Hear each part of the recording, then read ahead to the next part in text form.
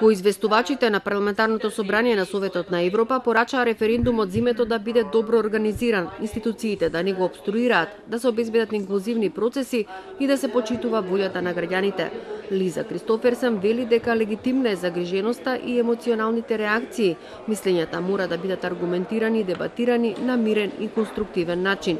Насилството, заплашувањето и реториката која разгорува мора да бидат осудени. Референдумот ќе им даде шанса на граѓаните да одлучат и да ја одредат визијата на земјата.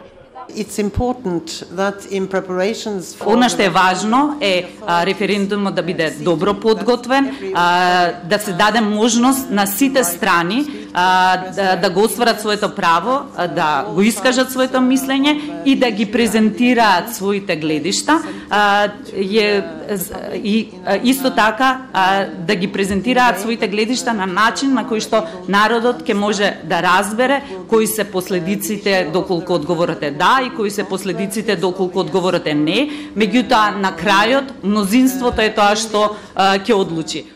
Валери Гилетчи го оцени договорот како историски кој ќе овозможи стабилност на регионот. Председателот на државата не треба да ја блокира работата на легално избран парламент. И неговата држава Молдавија пред известно време се соочила со сличен проблем, но пресекол тамошниот уставен суд. За каква одлука станува збор, Гилетчи не сакаше да открие.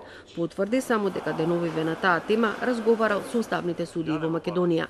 I uh, do believe that uh, Јас верувам секоја институција, во овој случај председател, треба да делува во рамките на овластувањата што ги има согласно уставот.